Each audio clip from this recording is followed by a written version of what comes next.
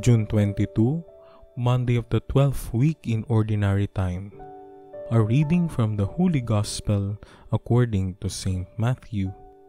Jesus said to his disciples, Stop judging that you may not be judged.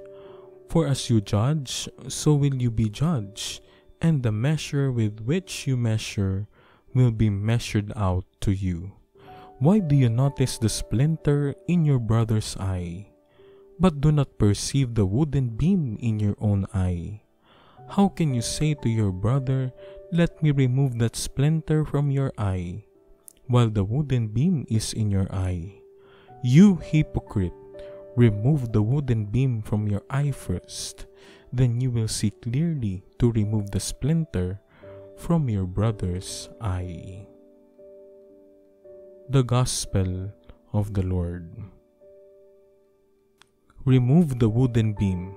Jesus teaches his disciples to avoid judging others because the way they judge will be the manner by which they will also be judged. In Matthew, this particular teaching is closely related to Jesus' stern warning against hypocrisy.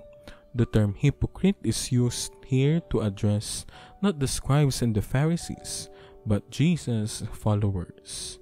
Are the disciples not to recognize the faults of others?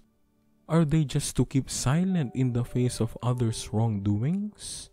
Jesus mandates that his followers remove the splinter from a brother's eye, but they must first take away the wooden beam from their own so that they can see clearly what must be removed.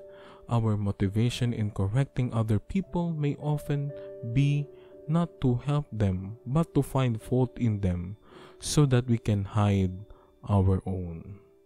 In our intention and manner of correcting others, do we first examine and correct ourselves so that our actions becomes selfless and sincere?